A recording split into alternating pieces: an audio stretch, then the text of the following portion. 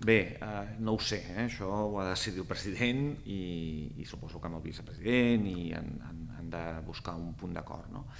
Però mm, jo crec que tampoc seria bo que, que de nou el Tribunal Constitucional eh, o el Suprem eh, marqui el calendari del país en general. No?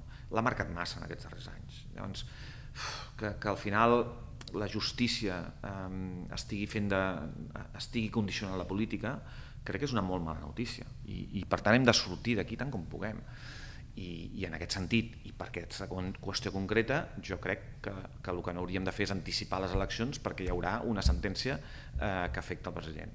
Quina és la solució? Pues no ho sé, eh?